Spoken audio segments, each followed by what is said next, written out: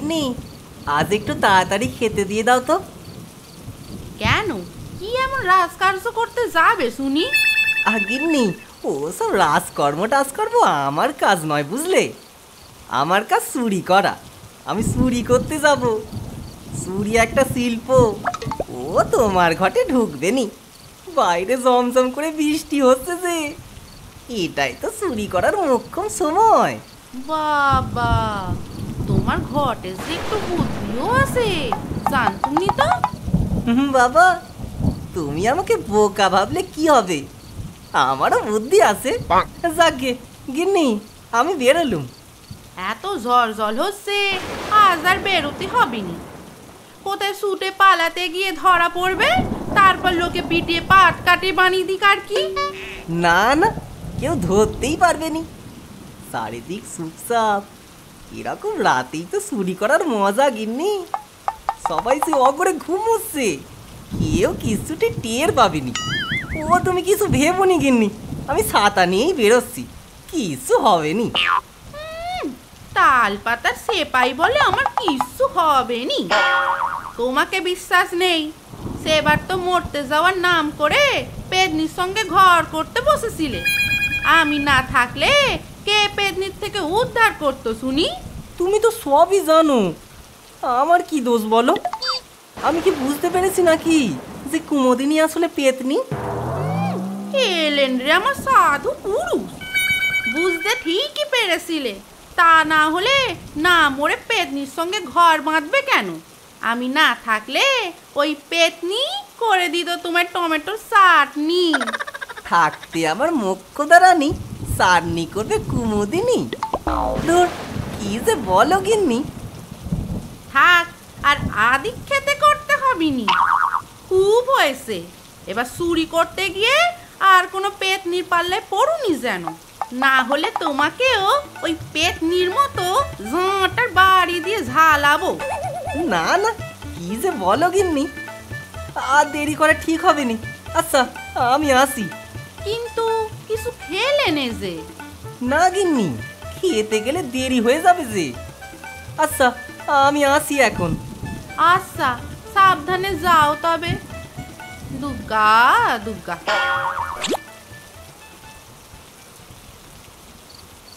এই রাত চুরি করা ভয় নেই ধরা পড়া।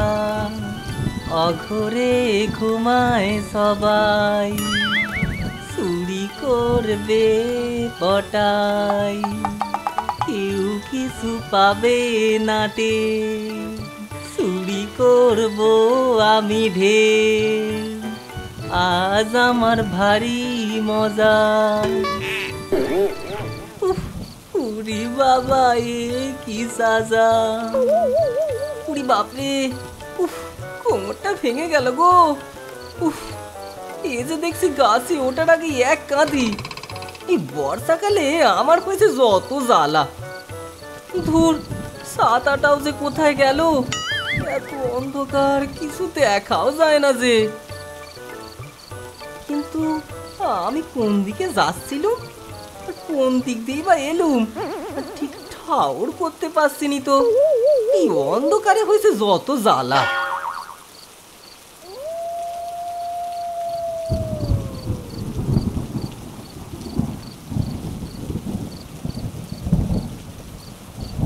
যে কার ঘরে এলুম কে জানে? পায়ে কাদায় ভর্তি।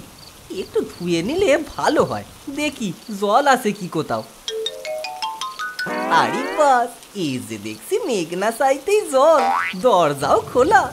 বা বাবা বাহ আজ যে কার মুখ দেখে বেরিয়েছিলুম, কে জানে? ও হ্যাঁ আজ তো গিন্নির মুখ দেখে বেরিয়েছিলুম। আহ, গিন্নির মুখটা দেখছি ভারী পয় মন্ত এবার থেকে গিন্নির একটা ছবি কলায় ঝুলিয়ে রাখতে হবে। অন্ধকারে কিছুই দেখতে পাচ্ছি না যে। কোথায় এসে পড়লুম রে বাবা? কি যে করি? কে কে ওখানে? কে গা? টাকা দিলে নাকি? দেখো বাবু আমার কাছে কিছু নেই সত্যি বলছি। গলাটা কেমন যেন সেনা সেনা লাগছে। গিন্নির গলা মনে হলো না? না না আমিও কি বোকা? গিন্নির গলা তো এত মিষ্টি নয়? যাই হোক এই সুযোগ। হয় দেখিয়ে সব আদায় করে নিতে হবে। ইয়ে আমি খুব রাগি ডাকাত। যা আছে সব দিয়ে দাও আমায়। না হলে কিন্তু মিনসেটার গলা মনে হলো না কিন্তু সে এখানে আসবে কোথেকে কি হলো? কি এত ভাবছ? দেবে? নাকি গলা কেটে দেবো? না না মেরুনি মেরুনি দিচ্ছি দিচ্ছি। এই একটাই সোনার হার ছিল। এই নাও। বাড়িতে কোনো লণ্ঠন আছে? তাড়াতাড়ি জ্বালাও দেখি। লন্ডন লন্ডন কেন জ্বালবো? আমায় কি বোকা পেয়েছ নাকি? যদি আমায় সোনার হার বলে ঠকিয়ে দাও। যা বলছি তাড়াতাড়ি করো দেখি। সত্যি? ডাকাতার কি বুদ্ধি? এরকম বুদ্ধি যদি আমার মিনসেটার হতো কত যে ভালো হতো। এ কি? তুমি? গিন্নি তুমি? তুমি এখানে কি করছ?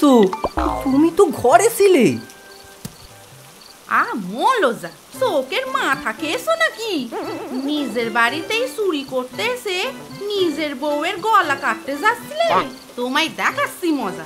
ভালো করে দেখো আমি নিজের ঘরেই আসি ইয়ে মানে গিন্নি আমি ঠিক অন্ধকারে ঠাউর করতে পারিনি। ভুল হয়ে গেছে। কিন্তু গিন্নি তুমি দরজা খোলা রেখে ঘুমোচ্ছিলে কেন? একবার ভেবে দেখো যদি আমার জায়গায় অন্য কোনো চোর ঢুকে পড়তো। তা দরজা না খোলা রাখলে চুরি করে এসে গলা হাঁকে লোক জড়ো করবে না আর কি? বোকার বোকা ভাঁড় একটা। দেখো গিন্নি আমাকে বোকা বলে অপমান করবেনি আমারও একটা সম্মান আছে। লন্ঠনটা আনতে বলেছিলাম বলেই তো চিনতে পারলে। তা না হলে আজকেই তোমার হার চুরি করে নিতুম।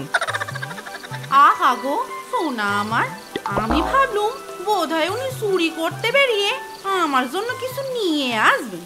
তা নয় উনি নিজেরই বউয়ের হার চুরি করছে। মরণ দশা তোমার দ্বারা কি কিছু হবে নি গা? এবারের মতো ক্ষমা করে দাও গিন্নি আমি বুঝতে পারিনি এবারে আর ভুল হবেনি এই আমি যাচ্ছি আর তোমার জন্য একটা ভালো জিনিস নিয়ে আসছি।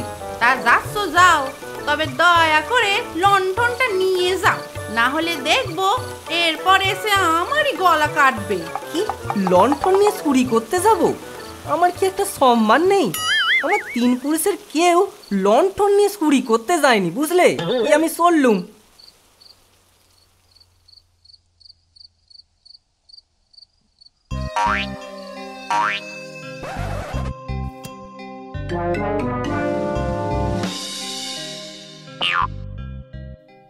বাহ আজ আমার কপাল দেখছি সত্যি খুলে গেল। জমিদার বাবু আমার জন্য বাইরেই বাক্স রেখে দিয়েছেন। বা বাহ সত্যি বউটার মুখ দেখছি ভারী পয়মন্ত। এই রে এর মধ্যে কোন সাঁতারটা আমার? দুটোই যে একই দেখতে। এবার কি করি? কিন্তু অন্য সাঁতারটা নিয়ে গেলে যদি জমিদার বাবু বুঝতে পেরে যান বাড়িতে চোর এসেছিল। কি করি কি করি? না জমিদার বাবুকে এই জিজ্ঞেস করে দেখি একবার। জমিদার বাবু? ও জমিদার বাবু। জমিদার বাবু একবার ওঠেন না বাবু। এই কে কে কে কে? ও- ওহো পটাই তুই? কি হয়েছে? তুই এখানে? এত রাতে? আগে বাবু আপনার বাড়িতে চুরি করতে এসেছিনু চুরি করতে এসে আমার ছাতাটা এখানে রেখেছিনু কিন্তু এখানে কোনটা আমার ছাতা বুঝতে পারছি না যে। তাই আপনাকে ডেকে তুললুম বাবু। সে কি? কি চুরি করেছিস? এই যে এই বাক্সটা নিয়েছিনুম বাবু। ওই দে দেখি।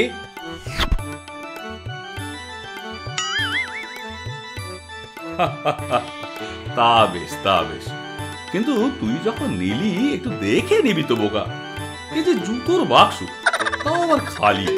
এতে যে গয়নাই নেই কোনো। সত্যি তুইও পারিস। এ বাবা, বড় বাক্স দেখে ভেবেছিনু অনেক কিছু থাকবে। আজ যে কার মুখ থেকে বেরিয়েছিনু কে জানে? ও হ্যাঁ আজ বউয়ের মুখ দেখে বেরিয়েছিনু বউটা দেখছি ভারী অপয়া, বেরিয়ে থেকে বিপত্তি। আজ বাক্যে দুঃখ নাচছে। কেন? দুঃখ নাচছে কেন বলছিস? আগে